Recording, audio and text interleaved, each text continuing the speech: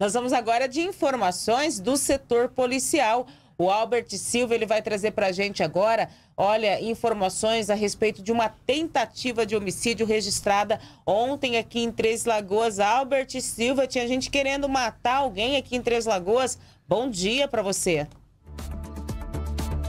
Oi, Ana, bom dia para você, bom dia para o Antônio Luiz, bom dia para toda a nossa audiência. Uma tentativa de homicídio também um pouco confusa, né? A gente vai contar toda essa história, Ana, que aconteceu ontem na Vila Alegre, aqui em Três Lagoas, essa tentativa de homicídio aqui, aconteceu na madrugada de ontem. Um homem, ele foi até a casa da ex, né? Da ex-parceira, dizendo que foi vítima de roubo e disse que também teria sido atingido por um tiro na região do abdômen, Ana.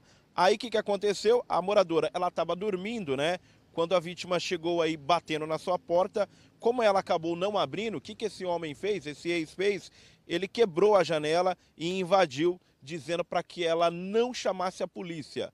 Só que aí ela chamou o serviço né, de o serviço de atendimento móvel de urgência, que é o SAMU, né, e foi constatado que esse homem estava somente com um corte nos dedos por ter dado um soco no vidro da janela sobre o ferimento aí de arma de fogo, Ana, ele deu diversas versões contraditórias aí, dizendo que foi vítima de roubo, diz que levaram a mochila dele, né? Mas não deu detalhes de quem teria levado aí essa mochila e quem teria aí roubado. Foi constatado também que não tinha lesão nenhuma né, na sua barriga e que era somente sujeira de sangue. E essa sujeira, Ana, ela é, foi porque ele acabou se machucando na hora que ele tentou entrar dentro aí da casa da ex-mulher, né? Ele declarou que é, a mulher, né, ela disse que, a, que ele faz uso de, ogra, de drogas e álcool, né? Esse homem aí, o ex, ele acaba é, usando aí muita droga e também muito álcool aí e que vai frequentemente, frequentemente perturbar ela aí